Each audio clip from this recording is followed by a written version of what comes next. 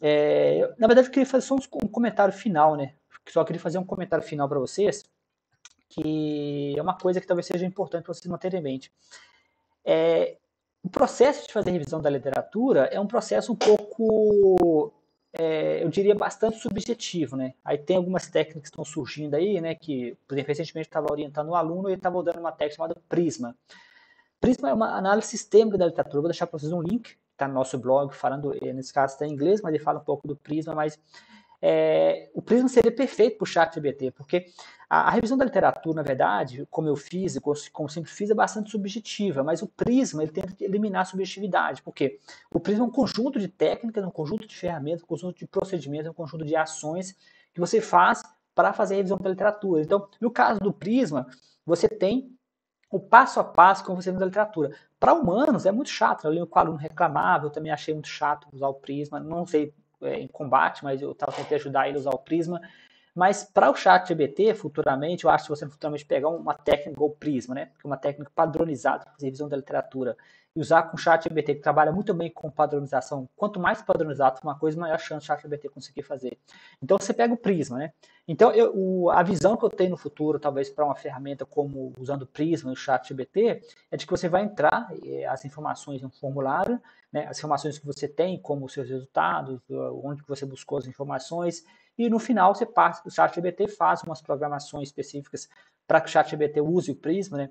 Que o Prisma é uma sequência, né? Eu não sou especialista em Prisma, mas eu, pelo que eu pude ver, pelo que eu pude estudar, a proposta é que você vai fazer revisão da literatura usando uma sequência de passos, o que é também muito interessante, porque o que acontece? Uma revisão da literatura, ela fica muito, muito susceptível à pessoa. Por exemplo, você pode citar artigos seus, né? Você pode fazer eu, pode fazer uma porrada de citação de artigos de colegas ou aí que você acaba caindo em uma espécie de tendência de confirmação ou conflito de interesse. O Prisma, aparentemente, né, e deve, deve haver outras ferramentas de. Deve existir algumas outras ferramentas de, de revisão da literatura é, espalhada por aí, mas o, o Prisma, basicamente, ele tenta, né? Pelo menos ele tenta eliminar esse tipo de subjetividade. É uma técnica que eu achei um pouco complicada, né? Pode demorar um pouco, um tempo para poder aprender, né? Mas para usar um, um software como o ChatGPT, eu tenho a sensação de que é uma coisa muito valiosa, porque quanto mais você padroniza alguma coisa, maior a chance que o ChatGPT vai conseguir é, fazer, né? Então, se eles estão tentando padronizar a revisão da literatura, né? Porque para humanos é chato, né? Porque o meu o aluno que estava acompanhando achou muito chato o processo do Prisma, porque é um passo a passo bem fechado mesmo, entendeu? Então, só que para um, para uma inteligência artificial, isso é perfeito. Por quê? Porque tem o passo a passo, né? Então, é, o que eu queria falar é isso, né? Que esse processo de revisão da literatura que eu estou mostrando para vocês aqui, ele é um processo muito susceptível à subjetividade, né? Muito susceptível ao erro humano, né? Porque é um processo de anotação, onde você decide qual artigo você vai ler, você decide os cortes do artigo, né? Você decide quais os cortes que você quer. Então, esse processo como um todo, ele é bastante susceptível, né? O Prisma seria oposto disso, mas no momento eu posso falar que eu sempre usei esse processo, eu, eu, eu aconselho que vocês tentem usar o Prisma, qualquer técnica mais é, objetiva, mas eu posso dizer que funciona. É uma técnica simples é, de anotação, é mais uma técnica que exige bastante disciplina, mas eu sugiro também que vocês considerem uma técnica sistemática, como o Prisma, ou talvez alguma concorrente da, do Prisma para fazer revisão da literatura. Então é isso, pessoal. Eu, como sempre, o retorno seus é interessante, né, porque são ferramentas que eu estou desenvolvendo. É, são todos baseados no ChatGPT. Eu acabei de publicar uma, um novo artigo no nosso blog que eu convido vocês a ler, né? Eu convido vocês a dar uma olhada no, no, é, no artigo, né? No nosso blog, que na verdade eu falo para vocês um pouco sobre é, falo para vocês um pouco sobre é, sobre as minhas visões do futuro, né? Sobre eu acabei de publicar no nosso blog, né? Que é visões do futuro, ah, que de forma resumida, né? De forma resumida para vocês, eu, é isso que eu vejo, né? Isso que eu falei para vocês anteriormente da questão do prisma. O prisma facilita ainda mais essa visão de futuro que eu tenho, porque o que é essa visão de futuro?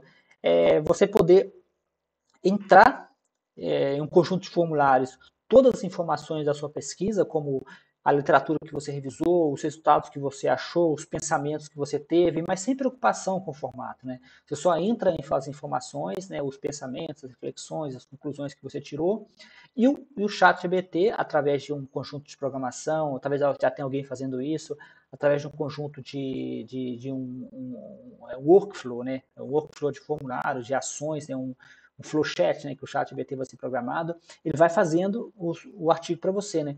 Mas sempre com a orientação de um humano, né? Dizer para vocês que é, agora ele faz o. Tipo, basicamente, basicamente o que a gente está fazendo, né?